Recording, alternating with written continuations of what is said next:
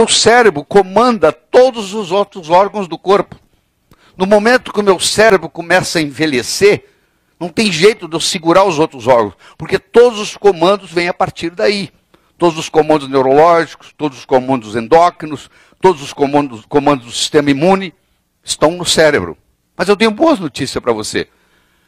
Hoje a neurociência mostra a plasticidade cerebral em qualquer fase da vida. Interessa se você tem 70, se você tem 80, se você tem 90. Em qualquer fase da vida você consegue ainda melhorar seu cérebro. Essa plasticidade se mantém para sempre, até você morrer. O cérebro tem em torno de 100 bilhões de células. Morre uma média de 80 mil neurônios por dia.